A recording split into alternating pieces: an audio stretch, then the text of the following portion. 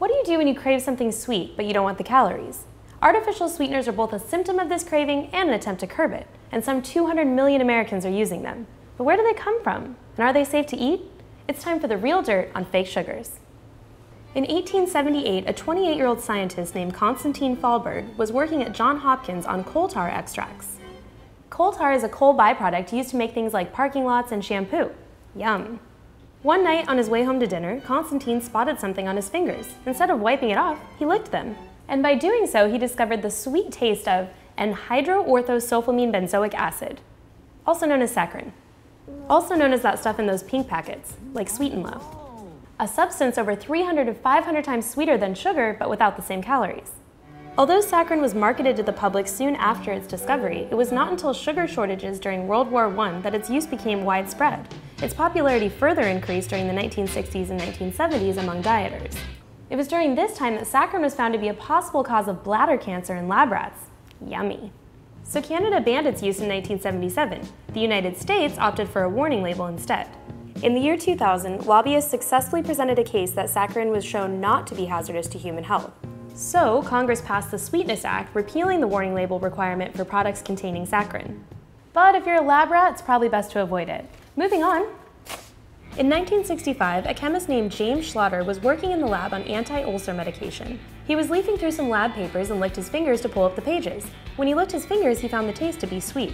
The reason being that his papers had become contaminated with a chemical. That chemical was aspartame, also known as that stuff in those blue packets, like Equal. The safety of aspartame has become the subject of controversies, internet hoaxes, and congressional hearings since its initial approval in 1981. Since December 1998, a widely circulated email hoax warned that aspartame is toxic to humans in a hundred different ways. It even coined a brand new medical term for these effects, aspartame disease. A 2007 medical review of the subject concluded that, quote, the weight of existing scientific evidence indicates that aspartame is safe at current levels of consumption as a non-nutritive sweetener. Yummy-rific.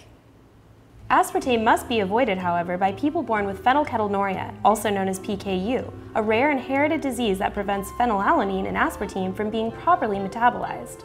So foods containing aspartame in the US must state, phenylketonurics contain phenylalanine on their product labels. Do you know how hard it is to say phenylketonurics? the things I do for you people. In 1976, a young Indian-born scientist named Shashikant Phadnis was evaluating new chemicals for use in research products when his boss asked him to test the chemical, but he misunderstood and went back to the lab to taste the chemical. And how did it taste? It was pretty sweet. That chemical would become known as sucralose, also known as that stuff in those yellow packets, like Splenda. Sucralose is a chlorinated sugar that is 600 times sweeter than regular sugar. But unlike other artificial sweeteners, it is stable when heated, so it can be used in baked and fried goods. And about 15% of sucralose is absorbed by the body, but most of it passes through the body unchanged. The FDA approved sucralose in 1998, but it's also had its share of sweet, sweet controversy. Only this time it wasn't about safety, it was about marketing. The slogan, Splenda is made from sugar so it tastes like sugar, did not sit well with the competition. But you have to admit it's a better slogan than made from chlorine so it tastes like chemicals.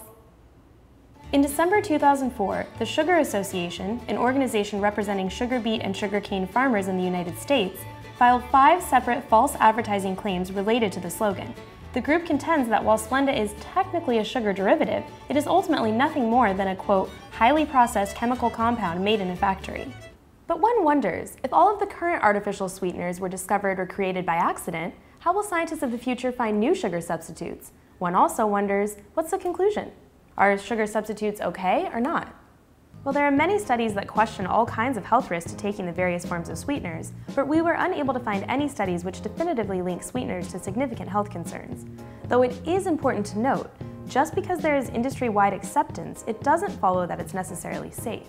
Sometimes you just have to go with your gut feeling when it comes to ingesting petroleum-based products. But as our desire for that sweet sugar taste shows no signs of slowing down, the search for new artificial sweeteners continues. From the Big Candy Apple, I'm Kegan, and this is Rocketboom.